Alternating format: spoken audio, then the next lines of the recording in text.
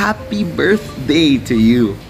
Always remember, Jeremiah 29:11 says that the Lord knows the plans He has for you, plans to prosper you, not to harm you, plans to give you a hope and a future. This is Pedro. Join me as we declare I have a purpose.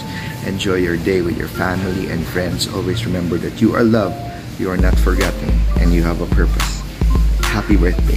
God bless you.